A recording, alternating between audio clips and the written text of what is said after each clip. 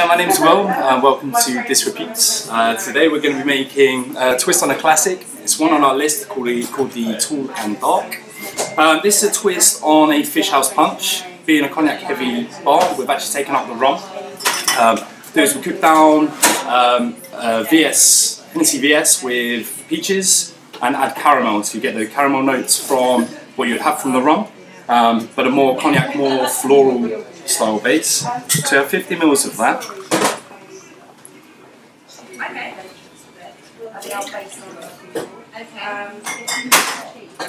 25 mils of lemon juice.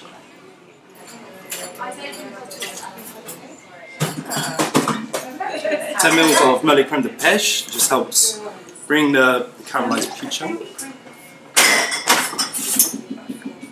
A splash of soda water, just to lengthen.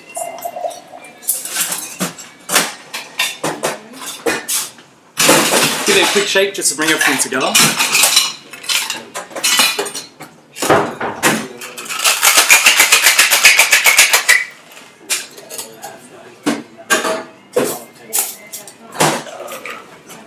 Just handle through.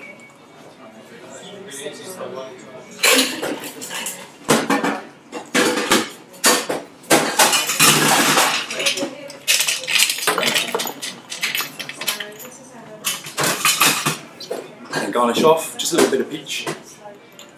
Nice long refreshing drink.